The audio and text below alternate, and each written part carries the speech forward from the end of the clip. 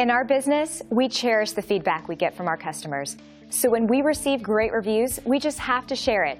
They were so excited about the great customer service they received, they went online and left this review. Here's what one of them had to say. This review is a powerful testament to our policies and procedures that ensure every customer gets a five-star experience with us. As you can see, we truly appreciate our valued customers by paying attention to their needs and putting them first, each and every time.